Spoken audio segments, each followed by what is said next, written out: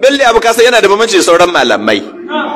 Duk mallamin da kaji yana magana ga gwamnati rajaman bilgaibi ne kawai yake yi. Rajaman bilgaibi. Jiwa cikin duhu. Doka ko guda bai sani ba ta gwamnati. Amma yanzu ni